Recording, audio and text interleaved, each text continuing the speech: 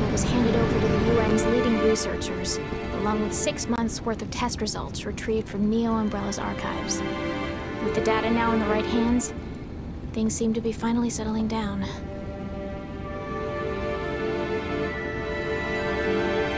Following Jake's rescue, BSAA officials classified his relationship to Albert Wesker as top secret, recognizing the threat it could pose to global security.